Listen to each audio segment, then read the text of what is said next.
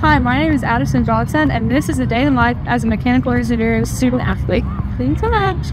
What it's like to be a mechanical engineering major. It's kind of tough. Um, we have a lot of different classes. Good morning, everyone. It's 7.50 and I'm heading to my 8 a.m. dynamics of machinery. I go to class and then I'll usually spend some time in the UC like getting Starbucks and Chick-fil-A and doing homework.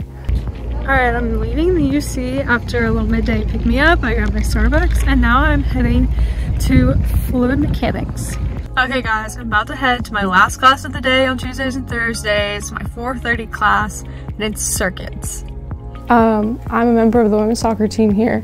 Um, that probably takes up the majority of my time besides school um, just between practice and weights and like when we have games. I'm also involved in ASME, which is American Society of Mechanical Engineers. Um, I'm the vice chair right now. I love going to the meetings, especially when I have guest speakers come in. And then I'm also a part of Fellowship of Christian Athletes here. I'm on our leadership team for that too.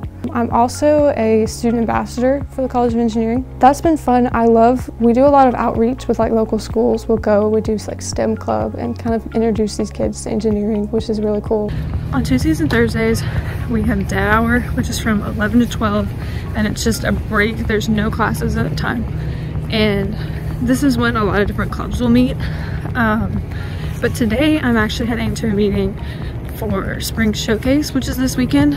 Um, as a College of Engineering student ambassador, we, part of what we do is we help run Spring Showcase and showcase tech to new admitted students who might be coming in the fall.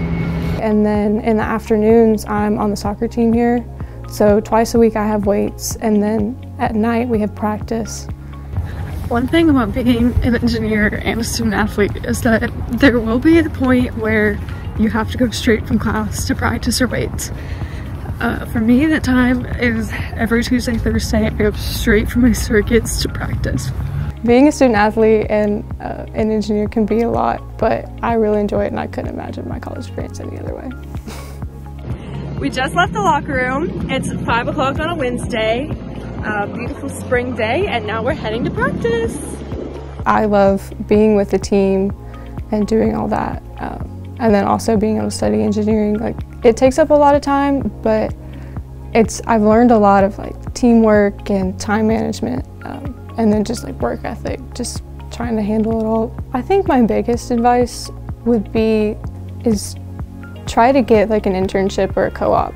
I think real world experience is the best way to, I mean, once you get out, like that's what companies are looking for, but also that's how you know if you want to do it or not. Like if you just go to class and you're like, okay, and then you might get to your job and realize, oh, I don't want to do this. So I think that's the best way to figure out like, okay, this is what I want to do and kind of experiment with different fields. And that was the day of my life as a mechanical engineering student athlete. Thanks for watching. Like I think maybe daily I'm like, why?